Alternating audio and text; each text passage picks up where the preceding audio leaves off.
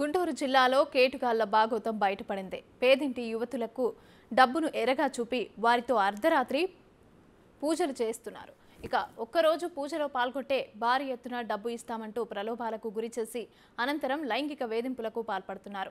అయితే నిందితుల నుంచి తప్పించుకున్న ఇద్దరు యువతులు దిశ కంట్రోల్ రూమ్కు ఫోన్ చేశారు. ఇక వారు నల్లపాడు పోలీసులకు సమాచారం ఇవ్వడంతో వెంటనే స్పందించిన పోలీసులు ఇద్దరు యువతులను సేవ్ చేశారు. పదకొండు మంది నిందితుల్లో ఐదుగురిని అదుపులోకి తీసుకున్నారు. నిందితుల్లో ఇద్దరు మహిళలు కూడా ఉన్నారు.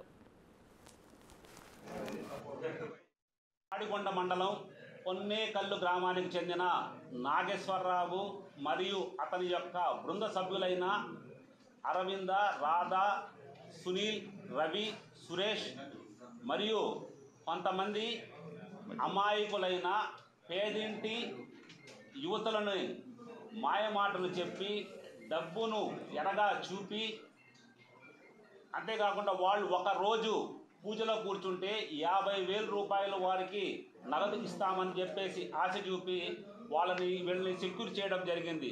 దీనికి సంబంధించి ఈ యొక్క నాగేశ్వరరావు యొక్క సహచరుడైన నాగేంద్ర బాబు సహాయంతో మీడియేటర్స్ మన నంద్యాల జిల్లాకు చెందిన మీడియేటర్స్ ద్వారా ఇద్దరు యువతులను సెక్యూర్ చేసుకొని గత మంగళవారం నుండి వారిని కొన్నేకల్లు చిలకలూరుపేటలో వారి యొక్క గృహాలలో రాత్రిపూట డబ్బులు ఆశ చూపి వారికి పూజలు చేయడం ప్రారంభించినారు. లైంగిక దాడులకు కూడా ఈ వేధించడం జరిగింది.